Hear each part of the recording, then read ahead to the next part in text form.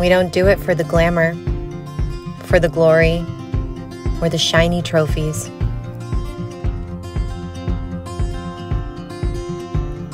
We don't do it for the perfect moments, for the easy jobs,